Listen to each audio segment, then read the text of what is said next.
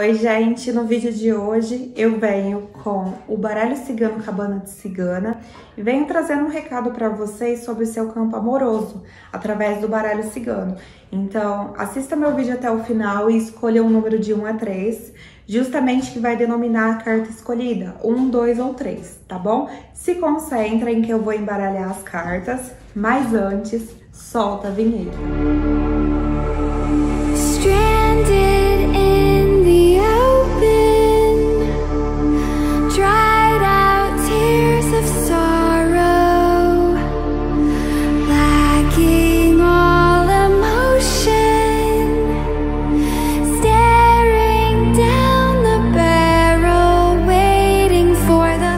Bom, eu vou terminar agora de embaralhar as cartas junto com vocês. Escolha um número de 1 a 3.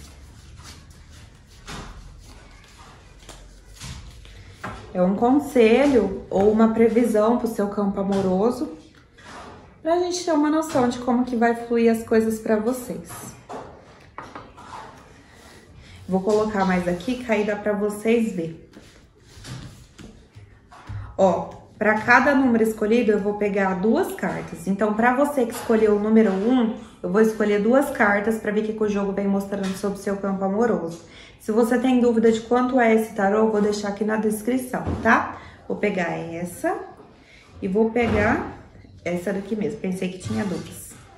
Ó, deu a carta... Olha que interessante, deu a carta da estrela e a carta da lua. Duas, vamos se dizer, energias do céu. O que, que eu tenho a dizer para vocês? Gente, vocês em si vai passar por algumas dificuldades no campo amoroso, porque a carta da lua, ela fala de muitas fases que o seu campo amoroso terá. Como, por exemplo, em alguns momentos vai estar tá tudo legal, do jeito que você planejou. Só que em outros momentos a sua vida amorosa vai ficar uma bagunça, onde você não vai conseguir entender nada, não vai conseguir raciocinar nada, é onde vem o desânimo e você quer desistir. E olha que interessante, deu o número 16 e o número 32. 16 mais, 30, é, 16 mais 16 é igual a 32, que fala justamente que tome cuidado para você não fazer papel duplo no campo amoroso, ou seja, fazer o papel do homem ou fazer o papel da mulher. Exemplo, eu tô com meu namorado e eu tô fazendo o papel dele de homem e o meu de mulher. E ele não tá dando a mínima. Não tá dando a mínima. É isso que pode acontecer com vocês. É onde vocês podem acabar, vamos dizer, fazendo muito pela pessoa amada e você não recebendo nada em troca, porque você já tá fazendo o papel do homem e da mulher. Então, o essencial é que vocês saibam lidar com o campo amoroso de vocês. Porque às vezes o seu campo amoroso pode te pregar peças aonde muitas das vezes você pensa uma coisa e a sua vida amorosa fica de outro jeito. Então, saiba também lidar com as dificuldades que acontecem no seu campo amoroso. Como nem tudo vai sair do jeito que você planeja, não fica completamente envolvida em uma história de amor, entendeu? E também não fique 100% envolvida achando que a sua vida amorosa nunca vai sair do lugar. Então são coisas que você precisa botar na balança que nada é para sempre, nem o ruim nem o bom. Então por isso que eu te falei que é, vocês precisam tomar cuidado com a bipolaridade, porque cada hora o seu relacionamento ou sua vida amorosa estará de um jeito. Esse é o conselho para vocês. E agora vamos para o número 2. A carta à luz e a carta da Santa Sara. Essa carta ela também fala que o seu campo amoroso você precisa começar a pensar mais maduro, ou seja, tem vezes que você pode ter um comportamento que não condiz com sua idade, onde muitas das vezes você dá conselhos bons para os outros e você não consegue passar esse conselho para si mesma. É como se você soubesse a dar um conselho para o amigo e você não, não conseguisse resolver a sua própria vida. E a carta da Santa Sara fala de amadurecimento, crescimento, também fala de fertilidade. Então, para você que pode fertilizar, tome um pouco de cuidado com gravidez. E a carta da luz, ela fala justamente que, apesar das dificuldades que às vezes seu campo amoroso terá, eu vi uma luz no fim do túnel. Então, já passou mil e uma pessoas negativas no seu caminho, aonde muitas foram legais, mas não foram boas o suficiente para vocês dois e vocês dois terem um relacionamento. O jogo fala que vem uma luz, ou seja, vai chegar uma pessoa importante no caminho de vocês. Só que só vai chegar a hora que vocês estiverem mais maduros, a hora que vocês saberem encarar o sim e o não da vida e a hora também que vocês começar a mudar o caminho de vocês. Ou seja, você vai todo final de semana pra balada.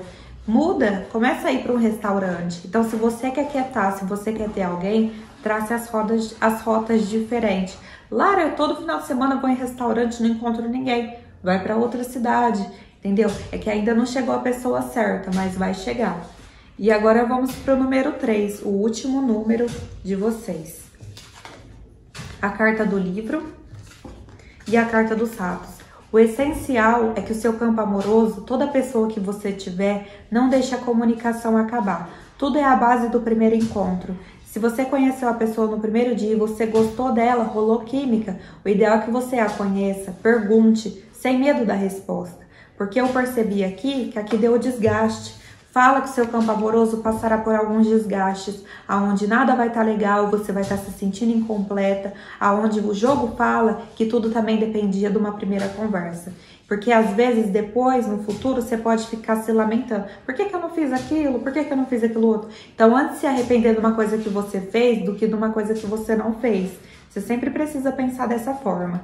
E a carta dos livros fechados, ela fala justamente de falta de comunicação. Então, toda vez que você conhecer alguém, deixe a comunicação fluir. Ai, Lara, tem uma pessoa querendo ficar comigo. Converse, converse muito. Até para você também ver quais são as intenções da pessoa. Porque a carta dos ratos, ela fala que vai aparecer muita gente que você não vai dar certo. Que você vai brigar, brigar, brigar, brigar. Você vai ficar com a pessoa mas não vai dar certo. Vocês vão se afastar milhares de vezes. E isso tudo é questão de comportamento, isso tudo é questão de visão. Entendeu? Então, toda pessoa que você conhecer, você conversa, não se envolva 100%, vê as intenções da pessoa, para você não ficar com uma pessoa onde a personalidade de vocês dois não vai dar certo. E praticamente o vídeo é esse, é um vídeo muito pequeno, aonde o jogo veio falando, tô começando a ficar rouca, aonde o vídeo veio falando de um conselho e alguma das cartas acabou até falando uma previsão. Muito obrigada, gente, pelo vídeo de hoje. Não esqueça de se inscrever no meu canal, ativar as notificações, curtir muito meu vídeo se você gostou e até o próximo vídeo.